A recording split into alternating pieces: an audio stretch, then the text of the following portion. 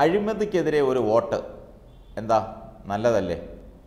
ഇത് ചോദിക്കുമ്പോൾ തന്നെ യു ഡി എഫിന് പാലങ്ങൾ തലവേദനയാകുന്നു. വിജിലൻസ് ആണെങ്കിൽ പാലത്തിൽ കുഴിയൊരുക്കുകയും ചെയ്യുന്നു.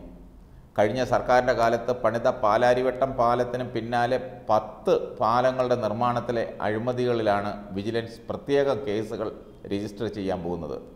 Ponnani Chamravattam regulator cum bridge Ernakulam Pathalam regulator cum bridge Aluva Manappuram സ്ഥിരം മേൽപ്പാലം എന്നിവയും ഇതിലുൾപ്പെടും പാലാരിവട്ടത്തിന് പുറമെ ഈ കേസുകളും പ്രത്യേകം രജിസ്റ്റർ ചെയ്യാനാണ് വിജിലൻസിന് കിട്ടിയ നിയമോപദേശം. മിക്കതിലും ത്വരിതാന്വേഷണം പൂർത്തിയായി. പാലാരിവട്ടം പാലം കേസിൽ ആറുമാസം മുമ്പേ അന്വേഷണം കഴിഞ്ഞെങ്കിലും ലോക്ക്ഡൗൺ കാരണം തുടർ നടപടികൾ വൈകുകയായിരുന്നു. സംസ്ഥാനത്തെ ഏറ്റവും വലിയ റെഗുലേറ്റർ കം ബ്രിഡ്ജാണ് ചമ്രവട്ടം. തൊള്ളായിരത്തി എഴുപത്തെട്ട് മീറ്റർ നീളമുള്ള പാലത്തിനും റെഗുലേറ്ററിനുമായി നൂറ്റി നാൽപ്പത്തെട്ട് കോടി രൂപ ചെലവിട്ടു. പദ്ധതി യാഥാർത്ഥ്യമായി ഏഴ് വർഷമായിട്ടും ഒരു തുള്ളി വെള്ളം പോലും സംഭരിക്കാനായിട്ടില്ല. നിർമ്മാണത്തിലെ അശാസ്ത്രീയതയും റെഗുലേറ്ററിലെ ചോർച്ചയുമാണ് പ്രധാന കാരണം. അഞ്ച് അപ്രോച്ച് റോഡുകൾക്ക് ടെൻഡർ വിളിക്കാതെ കരാർ നൽകിയതിൽ മുപ്പത്തഞ്ച് കോടി രൂപയുടെ അഴിമതിയാണ് ആരോപിക്കുന്നത്. പൊതുമരാമത്ത് മുൻ സെക്രട്ടറി ടി ഒ സൂരജ് കൂടാതെ സംസ്ഥാന കൺസ്ട്രക്ഷൻ കോർപ്പറേഷൻ എം ഡി ഉൾപ്പെടെ ആറ് പേർക്കെതിരെ എഫ്ഐആർ തയ്യാറായി കഴിഞ്ഞു. ആലുവ മണപ്പുറം പാലം അഴിമതി ആരോപണത്തിൽ വിജിലൻസ് പുനരന്വേഷണം പൂർത്തിയായി. ഇതിലും മുൻ മന്ത്രി വി കെ ഇബ്രാഹിം കുഞ്ഞ് പ്രതിയാകുമെന്നാണ് സൂചന. രണ്ടായിരത്തി പതിനാലിലാണ് ഇബ്രാഹിം കുഞ്ഞ് പൊതുമരാമത്ത് മന്ത്രിയായിരിക്കെ ആലുവ മണപ്പുറത്ത് സ്ഥിരം മേൽപ്പാലം നിർമ്മിച്ചത്. ആറ് കോടി രൂപയ്ക്കായിരുന്നു നിർമ്മാണ കരാറെങ്കിലും പൂർത്തിയാക്കിയത് പതിനേഴ് കോടിക്ക്.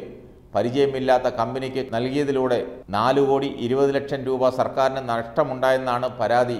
ഇബ്രാഹിം കുഞ്ഞിന്റെ മണ്ഡലത്തിലെ പാതാളം റെഗുലേറ്റർ കം ബ്രിഡ്ജ് പണി ആരംഭിച്ചത് രണ്ടായിരത്തി പതിമൂന്നിലാണ് നാല് കോടിയുടെ ക്രമക്കേടാണ് അതിൽ ആരോപിക്കുന്നത്. നിർദ്ദേശിച്ച ആഴം പാലിക്കാതെ പില്ലറുകളുടെ നിർമ്മാണത്തിലാണ് അഴിമതി ആരോപിച്ചിരിക്കുന്നത്.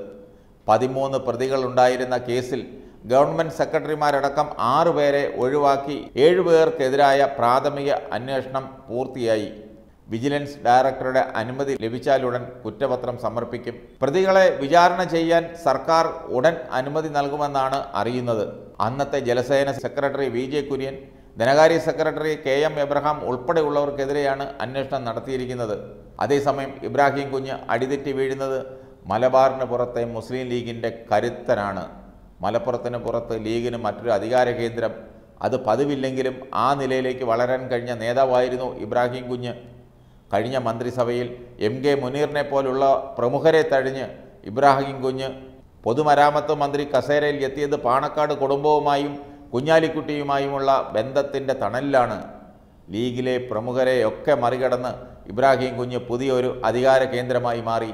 അന്നേ തന്നെ ഇബ്രാഹിം കുഞ്ഞിന്റെ ശൈലിയിൽ ലീഗിന്റെ പല എം എൽ എമാർക്കും പരാതിയുണ്ടായിരുന്നു പ്രത്യേകിച്ച് പൊതുമരാമത്ത് വകുപ്പിലെ റോഡ് പാലം നിർമ്മാണ കരാറുകളെക്കുറിച്ച് മുസ്ലിം ലീഗ് പണക്കൊഴുപ്പിന്റെ പിന്നാലെ പോയ കാലത്ത് തന്നെയാണ് ഇബ്രാഹിം കുഞ്ഞിന്റെയും രാഷ്ട്രീയ ഉദയമുണ്ടായത്.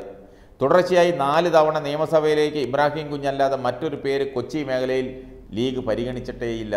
നേരത്തെ എം കെ മുനീറും നാലകത്ത് സൂപ്പിയും അടക്കമുള്ള നേതാക്കൾ അഴിമതി ആരോപണങ്ങളിൽ പെട്ടിരുന്നുവെങ്കിലും ഇത്രയും ഗുരുതരമായ കേസ് ലീഗ് നേതാക്കളിൽ ഉണ്ടാകുന്നത് ഇതാദ്യമാണ്. ചുരുക്കത്തിൽ ലീഗ് അങ്കലാപ്പിലായി. അതുവഴി യു ഡി എഫിന്റെയും അടിത്തറ ഇളകും.